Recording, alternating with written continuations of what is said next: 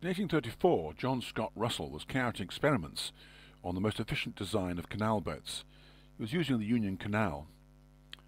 He was following a narrow boat being hauled by two horses. He was on horseback.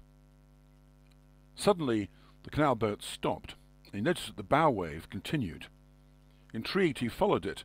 He followed it for over a mile. He noticed it carried on at the same speed and the same height. He eventually lost it in the windings of the canal further along.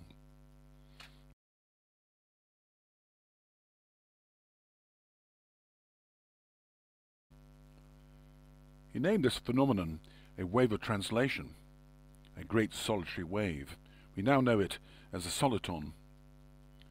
He carried out various experiments and found out that it depended upon its size and the width and depth of the canal. Also, that when two come together, they do not merge, they continue on entirely separately. This seemed to be against the laws of hydrodynamics as had been worked out by Sir Isaac Newton.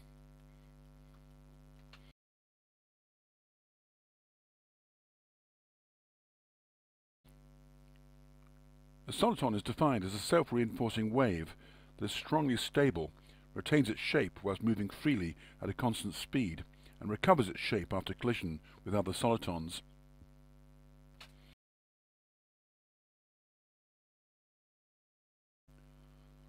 Scientific principles behind a soliton wave weren't understood until the 1870s. After it was largely forgotten, over the 1960s it was rediscovered and the principles were applied to fiber optic technology.